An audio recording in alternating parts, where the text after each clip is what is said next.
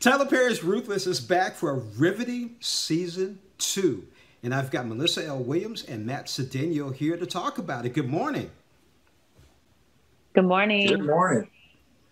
Melissa, let's get started with you. Tell us about your character, Ruth, and how do we close with the cliffhanger and what can we expect in season two?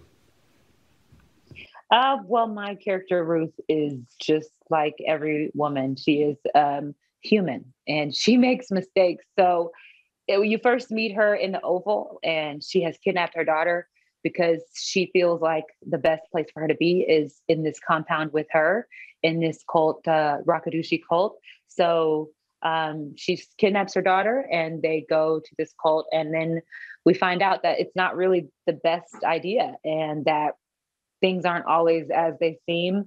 And in season two, we're really getting like an unpeeling of the characters. And I really appreciate that because it allows us to see the vulnerability in each character, the highest, myself as Ruth. And it just allows the viewer to have a little bit more empathy and realize that, okay, these are these are human. They are they, even if they have power, they're still humans.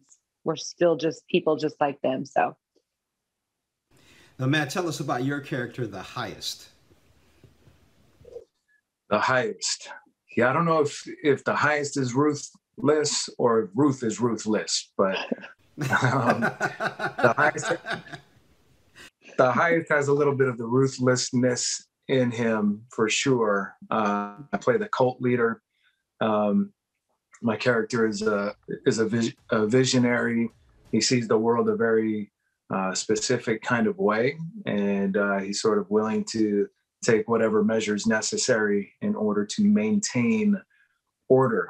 But he's a complex character, so you know he sort of uh, has some redemptive qualities in a lot of ways that um, I think the the audience is going to get to see this season, and hopefully identify with uh, him and and all of the characters because we're each very driven and uh, uh goal oriented, and it's just going to be a game about who's going to get uh, who wins. Mm-hmm. Now, the end Melissa, game. when this thing, the end game, Melissa, when this whole thing got started, when you first read the script, what did you think about it? When I first read the script, I was like, okay, this is this is a lot um, because it's you know it's a sensitive subject matter, and I also had never had a role like this before. So I just was like, wow, this is this is something one that I need to do a lot of research on because I want to make sure that I'm playing Ruth um, as real as what I what I saw when I was doing my research, and um, just having empathy and and and not judging, you know, the the situations that she's in, and just kind of really trying to bring humanity to it because we're all flawed. We all have had situations where we might have been misled. So I try to just bring that realness to to uh, Ruth. Matt, your character, the highest. Can you compare him to somebody that's real today? Do you see that in somebody real today? Somebody real today. Uh not that I can think of, you know. I know a lot of his characteristics are um, inspired by, loosely based on Jim Jones of the past. Um, but I don't know. I can't think of anybody today who he's like pretty unique hmm. character. Mm. What do you think, Melissa? Very unique. You remind you? I don't think. Yeah, no. He's his own. He's his own high his own highs, his own bird. like that's a, that's one that's a that's a that's a you know what I mean? Like I, yeah. I don't know if you can relate that to and someone that's yeah, that's the highest is his own person. He's, he's his own high. Okay.